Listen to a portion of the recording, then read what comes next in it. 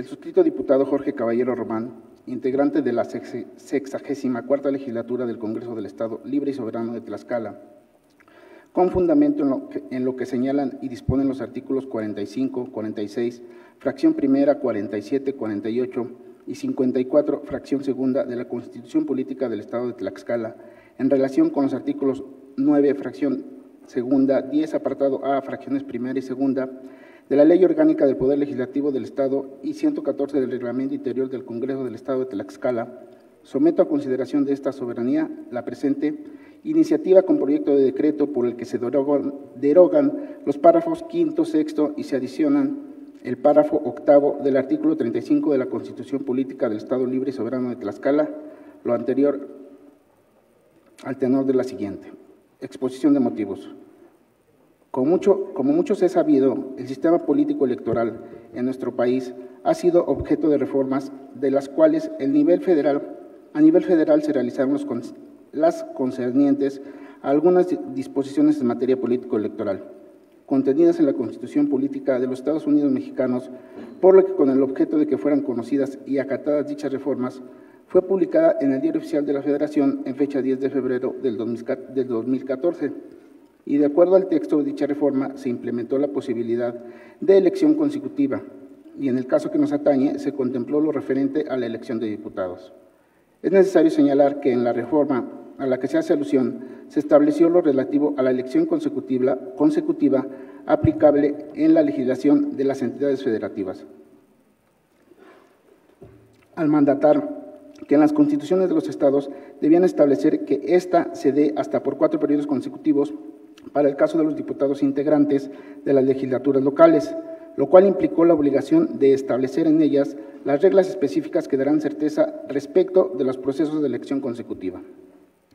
Por lo que tenemos el antecedente de que en las legislaturas anteriores se han realizado las modificaciones necesarias a nuestra Constitución local y a la Ley de las Instituciones y Procedimientos Electorales del Estado, con tal fin Prueba de ello, la reforma electoral publicada en el periódico oficial de, del Gobierno del Estado el 21 de julio de 2015, en la que se realizaron las adecuaciones necesarias a efecto de armonizar nuestra legislación electoral con lo dispuesto en la Constitución Federal, por así ser necesario respecto de la elección consecutiva para el cargo de diputado local. Y en el caso que nos ocupa, tenemos que en las fracciones que componen el artículo 35 de nuestra Constitución Política del Estado se señalan de manera específica los requisitos para ser diputado. Artículo 35. Para ser diputado local, propietario o suplente, se requiere cumplir con los requisitos siguientes. Por las dichas fracciones de la primera a la octava quedan como se encuentran. Y los párrafos quinto y sexto del mismo artículo señalan lo siguiente. Los diputados suplentes podrán ser electos para el periodo inmediato siguiente con el carácter de propietarios, si no hubieran ejercido el cargo. Los diputados propietarios no podrán ser electos para el periodo inmediato ni aún como suplentes. Ahora bien, es necesario señalar que en la elección pasada del 6 de junio del presente año, en la cual se renovaron la gubernatura, las diputaciones locales, los 60 ayuntamientos y las presidencias de comunidad, se dio una situación que causó confusión, tanto en la población general como en los diputados que formaban parte de la sexagésima tercera legislatura y deseaban ser registrados como candidatos al mismo cargo ante el Instituto Tlaxcalteca de Elecciones y para quienes deseaban registrarse como candidatos a diputados en razón de, en razón de lo siguiente. De acuerdo a la transcripción del artículo 35 de la Constitución local, en el que se señalan los requisitos para ser diputado, existe el párrafo quinto y sexto en dicho artículo, y al realizar el análisis correspondiente, se desprende de dichos párrafos son contradictorios y, y los mismos solo provocan confusión, ya que señalan lo siguiente. Los diputados suplentes podrán ser electos para el periodo inmediato siguiente con el carácter de propietarios, si no hubieran ejercido el cargo los diputados propietarios no podrán ser electos para el periodo inmediato ni aún como suplentes. Por lo que se tienen entonces que, al contemplarse la figura de elección consecutiva en la Constitución local, es inaplicable, ocioso y contradictorio lo señalado en el párrafo quinto del mencionado artículo, ya que en la redacción del mismo se entiende que se limita e impide que una persona que fue diputado local suplente pueda acceder al mismo cargo, pero ahora como propietario, y esa no fue la idea del, del legislador al implementarse la reforma electoral en que se ha hecho mención, razón por la cual se tiene que derogar por no ser acorde a lo dispuesto en cuanto se refiere a la elección consecutiva, ya que si no se deroga dicho párrafo, se estaría limitando el derecho de un ciudadano y restringiendo su derecho a ser votado, lo cual a todas luces implica una violación a los derechos político-electorales del ciudadano. Un punto importante a destacar es que en el caso de que un legislador actual en el futuro pretenda participar nuevamente en, la correspondiente elección para acceder a dicho cargo, sabemos que en los ciudadanos recae la decisión o no de volverlos a, favorecer con el voto. Y precisamente esta es una de las bases que dieron soporte a la reforma electoral para que se contemplara la Constitución Federal y esto impone la obligación de generar una relación que vincula al representante popular con los ciudadanos que lo favorecieron con su voto y en su momento serán estos que decidirán ratificarlo o no. En base al trabajo desempeñado,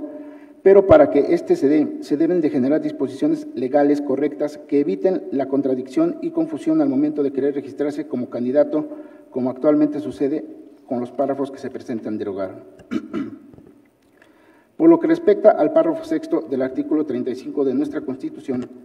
que se ejerce, que se pretende derogar, es una razón de que el mismo señala que los diputados propietarios no podrán ser electos por el periodo inmediato ni aún como suplentes, lo cual podemos señalar como absurdo, contradictorio y confuso, puesto que se ha venido manifestando. Esta limitante se encuentra totalmente superada al encontrarse las elecciones consecutivas ya contempladas en la Constitución Federal y en la local. Por lo tanto, no tiene razón que dicho párrafo se siga contemplando en la Constitución local y he ahí la importancia de derogarlo. Ahora bien, Derivado del análisis realizado en el artículo 35 de la Constitución Política del Estado Libre y Soberano de Tlaxcala, considero que se debe adicionar de manera clara y específica un párrafo más, el cual sería el octavo, en el que se deberá quedar de la siguiente forma. En el caso de diputados, estos podrán ser electos para el periodo inmediato siguiente, no importando si en el periodo inmediato anterior tenían el carácter de diputados propietarios o suplentes. Por lo anterior expuesto, el suscrito diputado Jorge Caballero Román someto a consideración de esta sexagésima cuarta legislatura del Congreso Libre y Soberano de Tlaxcala la presente iniciativa con proyecto de decreto.